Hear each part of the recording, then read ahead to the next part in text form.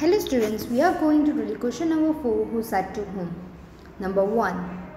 What shall I make for lunch today? This question is asked by Mama to Rohit. This question is asked by Mama to Rohit. This question is asked by Mama to Rohit. It must be very pretty picture with lots of color.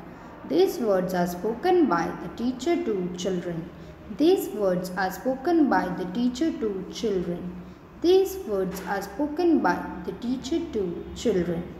Number 3. Teacher gave it to me. These words are spoken by Rohit to his mama. These words are spoken by Rohit to his mama. These words are spoken by Rohit to his mama. Number 4. They all are very pretty. These words are spoken by the teacher to children.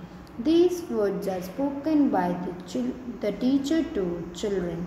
These words are spoken by the teacher to children. Number 5. Look at what I painted today. These words are spoken by Rohit to his parents. These words are spoken by Rohit to his parents. These words are spoken by Rohit to his parents. Thank you.